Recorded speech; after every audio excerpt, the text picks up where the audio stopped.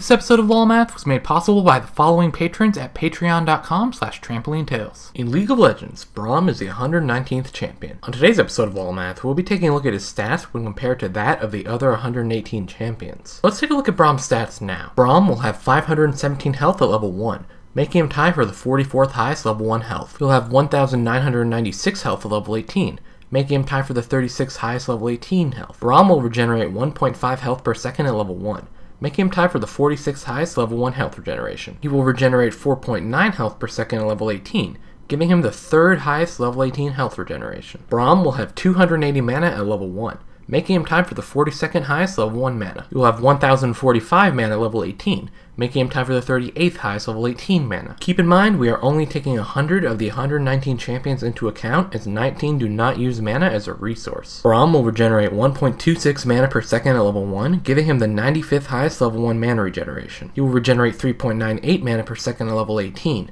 giving him the 6th highest level 18 mana regeneration. Braum will have 56.2 attack damage at level 1, making him tie for the 36th highest level 1 attack damage. He'll have 110.6 attack damage at level 18, making him tie for the 48th highest level 18 attack damage. Braum will have 0.644 attack speed at level 1, making him tie for the 56th highest level 1 attack speed. He'll have 0.891 attack speed at level 18, giving him the 72nd highest level 18 attack speed. Braum will have 24 armor at level 1, making him tie for the 25th highest level 1 armor. He will have 92 armor at level 18, making him tie for the 4th highest level 18 armor. Braum has an auto attack range of 125. He will start with 30 magic resistance like all champions and will gain a 1.25 magic resistance per level. Braum has a base movement speed of 335. Overall, Braum has 12 stats which are in the top 50% of champion stats and 2 stats which are in the bottom 50% not counting his auto attack range, movement speed, or magic resistance. Make sure to like this video if you enjoyed it, and subscribe if you'd like to be informed whenever I release new videos. Click the annotation on the screen if you'd like to see the previous LOL Math episode. You can also like LOL Math on Facebook, follow me on Twitter, watch me livestream on Twitch, and support my content on Patreon. Thanks for watching this episode of LOL Math.